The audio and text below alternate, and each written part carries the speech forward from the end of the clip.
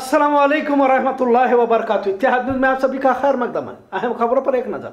आज हिजाब मामले को लेकर बेलगाम बंद का ऐलान मुस्लिम तंजीमों की जानब से किया गया था, जिसका असर शहर के मुख्तलिफ़ इलाकों में देखा गया। खासकर अकलियती इलाकों में तमाम दुकानों, कारोबार फैक्ट्रियों को बंद रखा गया था।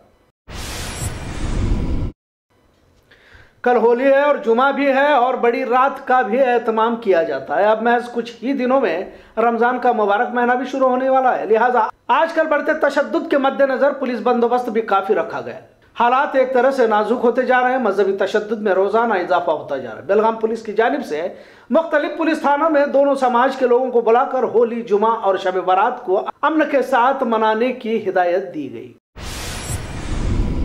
जब से कश्मीर फाइल्स फ़िल्म की रिलीज़ अमल में आई है, इसे बतौर फ़िल्म देखने के किसी एक समाज के खिलाफ नफरत फैलाने का ही काम करते हुए देखा जा रहा है लिहाजा।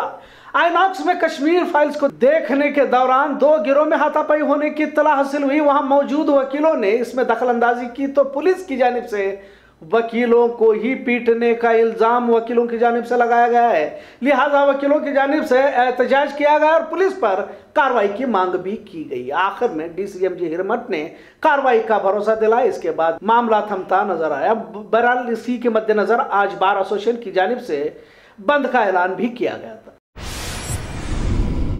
बेलगाम शहर और अतराफ में चोरी डकैती की वारदातों में इजाफा ही होता जा रहा। है महँगे होटल भी इससे बच नहीं पा रहे।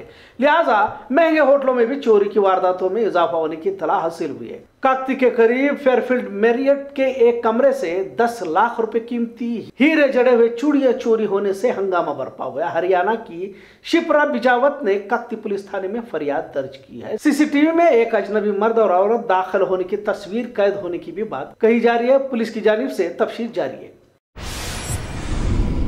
एक खास ऐलान जैसा कि हम सभी जानते हैं कि हिजाब को लेकर मामला किस तरह संजीदा बनता जा रहा है। इसी के मद्देनजर बेलगाम में रहमान फाउंडेशन की जानब से नुमानी नर्सिंग इंस्टीट्यूट को शुरू करने का फैसला लिया गया है। एक मई से नर्सिंग इंस्टीट्यूट को शुरू किया जाएगा। और दाखिला अब शुरू हो चुका है। नुमानी हॉस्पिटल के जिम्मेदार जनाब हनीफ सिद्दीकी ने इतिहाद न्यूज़ को बताते हुए कहा कि मौजूदा हालात के मद्देनजर इस फैसले को लिया गया है। जो भी तुलबा नर्सिंग में दिलचस्पी रखते हैं, नुमानी अस्पताल से रबता कायम करें, ऐसा उन्होंने बताया।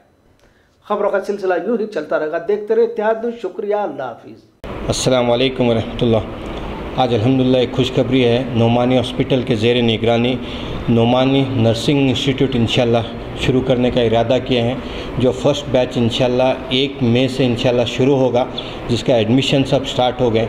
इस नर्सिंग इंस्टीट्यूट खोलने का मकसद ये है, जो मौजूदा हालात और जो वक्त का तकाजा है कि हमारे कौम के बच्चियाँ, माशाल्लाह जिस, जिनके अंदर फितरी खिदमत का जज्बा होता है, लेकिन हालात की वजह से आगे नहीं बढ़ पा रहे हैं। एसएलसी कर लेते हैं या टेंथ ड्रॉप आउट रहता है, लेकिन कहीं जॉब करते हैं, माशाल्लाह हाथ भी अच्छा होता है नर्सिंग का एक हुनर भी अच्छा रहता है, लेकिन डिग्री नहीं होती है। तो इसी को मद्देनज़र रखते हुए कि हमारे बच्चियों को अलहमदिल्ला इनके हुनर के साथ में उनके पास डिग्री भी आ जाए। इसके लिए नर्सिंग इंस्टीट्यूट खोलें जिसमें एक साल का कोर्स रहेगा, जिसमें फ़ीस एक नॉमिनल फ़ीस दस हज़ार का रखें बस मकसद ये है कि फ़ीस के ज़रिए से उनके अंदर अहमियत आ जाए और उसकी कदर आ जाए। साथ में जो फैकल्टी है, जो करीब पंद्रह साल से माशाल्लाह नर्सिंग इंस्टीट्यूट चला रहे हैं, वो अब अलहमदिल्ला हमारे पास नोमानिया नर्सिंग इंस्टीट्यूट में रहेंगे। कैरिकुलम है सिलेबस अलहमदिल्ला तैयार हो गया है और प्रैक्टिकल्स जो रहेगा, नोमानी हॉस्पिटल के अंदर रहेगा। हमारी कोशिश यही रहेगी कि वक्त के तकाजे के हिसाब से बच्चियाँ जो है अपने तकदस को, अपने इज़्ज़त को, अपने डिग्निटी को रखते हुए आगे से आगे पढ़ाई के अंदर जाएँ। इन ये नर्सिंग इंस्टीट्यूट कामयाब होने के बाद में इन आइंदा साल पैरामेडिकल कॉलेज के बारे में भी इरादा है। कौम और मिलत से, दरख्वास्त है कि दुआओं के ज़रिए से है, ख़ास करके दुआओं के ज़रिए से रहमान फाउंडेशन का, नुमान हॉस्पिटल का ताउन करते रहे। जजाकल्ला अल्लाम वरहमल